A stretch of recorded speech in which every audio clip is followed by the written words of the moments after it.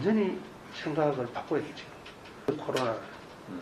그러면 학교에 그 진단이 학생이 진단이 됐어요. 네. 그러면 역학조사하고 해서 이제 조치를 다 하지 않습니까? 네네. 그럼 애가 이제 입원 치료하든 그다음 생활치료센터 가면 제가 무- 무- 대구 무증상일 시에 수도 있고. 네, 무증상일 수도 있고 음. 자택이 있을 수도 있고 네. 자택이 자택 있는 환경이 아주 좋은 애들은 자택이 있어도 괜찮다고 저는 생각합니다. 음. 그다음에 생활치료센터에 만약에 가면 거기에 학교별로는 못하겠지만 학년별로 좋은 그 저 우리가 컨텐츠들이 많지 않습니까? 네. 그걸 해서 학생 학생 뭐 전, 전문 치료 센터라든지 이런 붙일 되거든요.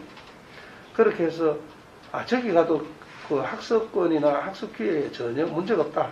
이런 것도 메시지를 주고 또 거기 마치고 검사해서 나오면 그 다음날 바로 학교에 나오라 그래가지고 교실에 앉아서 공부를 할 수 있도록 그렇게 만드는 거를 교육부가 의지를 가지고 하든지 뭐 두드려 맞든지 어떻게 하든지 간에 그걸 밀고 이 정도 밀고 나가면 나가려면 그런 상황도 제가 보기에는 돌파를 해야 이게 음. 안정적으로 안정화시키면서 갈 수 있다. 음. 지금 요 스탠스 가지고는 음. 안정이 안 될 거다. 이게.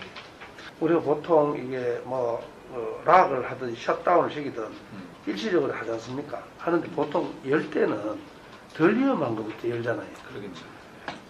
근데 우리가 지금 이제 그 점은 이제 전체 중앙 방역 대책에 제일 불만 중에 하나인데 최고 위험군을 계속 열어놓고 있었단 말이에요. 감염병의 음. 예를 들어 집단 발병과 관련돼서 우리가 상식적으로나 이론적으로 확률적으로 생각해서 최고 위험군을 계속 닫지 않고 열어놓고 있는 상황을 계속 지속하고 있는 거예요.